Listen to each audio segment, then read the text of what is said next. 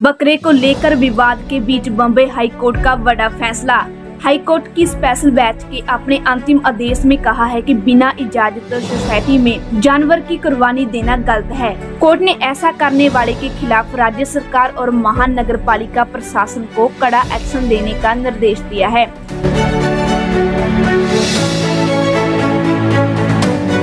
मुंबई से सटे मीरा रोड स्थित हाउसिंग सोसाइटी में कुर्बानी के लिए लाए गए बकरों को लेकर शुरू हुए विवाद के बीच बम्बे हाई कोर्ट ने एक अहम निर्देश दिया है।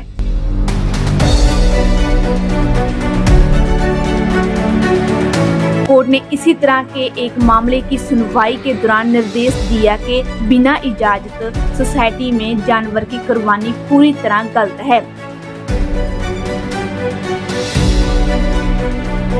कोर्ट ने ये निर्देश मीरा रोड स्थित हाउसिंग सोसाइटी मामले में नहीं दिया। ये मामला मुंबई की एक दूसरी सोसाइटी से जुड़ा हुआ है, जिसमें जैन समुदाय के लोगों ने हाई कोर्ट में पिटीशन दायर की थी।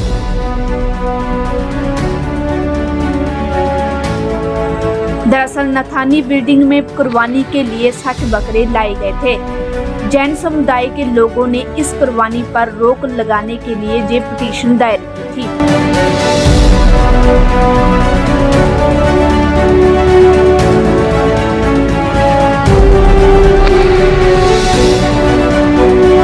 बकरे को लेकर विवाद के बीच बम्बई हाईकोर्ट का बड़ा फैसला।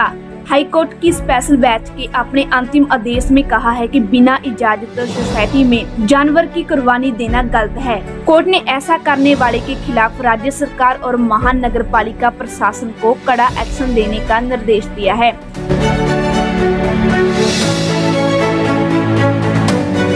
मुंबई से सटे मीरा रोड स्थित हाउसिंग सोसाइटी में कुर्बानी के लिए लाए गए बकरों को लेकर शुरू हुए विवाद के बीच बम्बे हाई कोर्ट ने एक अहम निर्देश दिया है।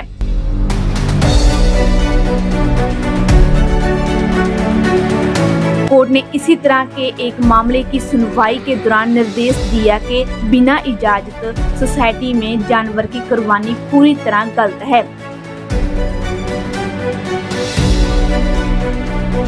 कोर्ट ने ये निर्देश मीरा रोड स्थित हाउसिंग सोसाइटी मामले में नहीं दिया। ये मामला मुंबई की एक दूसरी सोसाइटी से जुड़ा हुआ है, जिसमें जैन समुदाय के लोगों ने हाई कोर्ट में पिटीशन दायर की थी।